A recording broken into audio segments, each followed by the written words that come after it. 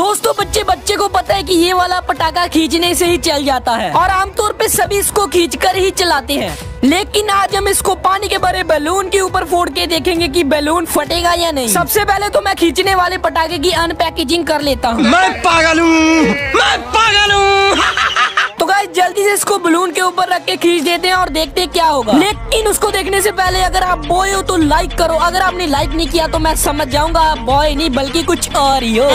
करो ना लाइक मुझे कुछ चेक करना है। तो बस फाइनल में पटाखा खींच देता हूँ।